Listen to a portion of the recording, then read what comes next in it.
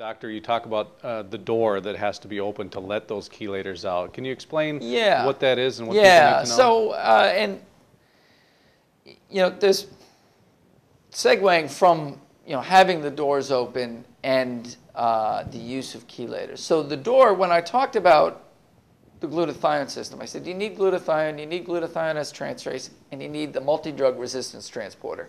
That is the door. That's the door that's going to take it from the cell to the blood, from the blood to the liver, from the liver to the intestines. There's doors in the kidneys that take it uh, after it's filtered, dump it into, uh, into the urine. If these doors aren't open, nothing's going to get out. And then what happens is the whole system backs up, and even the enzymes in the cell start shutting down. Because what's the point of linking mercury onto glutathione if it's not going to get out? So the whole thing becomes shut down. And then you're left, you know, with all this with all this toxicity in the cell, and you've got all this inflammation going on. And it is in fact inflammation, uh, especially inflammation in the gut, that's shutting these doors. And so that's really what we want to do is open up all these transport routes out.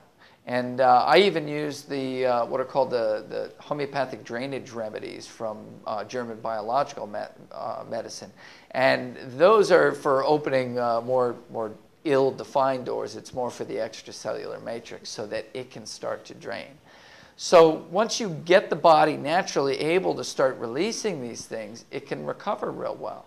But if you try to force the system by using the chelators when the body's all locked up, you're just going to cause more problems.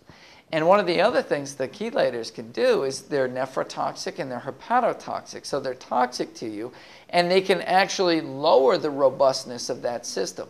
Remember, I said what I want to do is open up the doors and open up the glutathione system and boost the glutathione system. And that, number one, makes the mercury and the other metals spill out. Number two, makes you more resistant to it.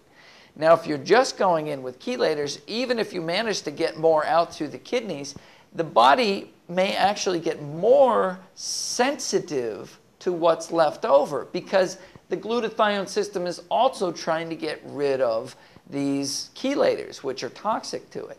And so uh, I think some people get into a squeeze the sponge mentality, I call it, where they're like, if we just get a little bit more out, you'll start feeling better because they're going through these rounds of chelation. Instead of getting better, they're getting worse. Mm-hmm because that system is going down, down, down, even if you're getting some of the metal out. So I think there's a lot of traps that people fall into in metal toxicity. And don't get me wrong, a lot of people do have good success using the chelators, but I think these are people who had a fairly robust system and just had very high levels where it was getting to an acute toxicity. So you drain them down, and now they're starting to feel better.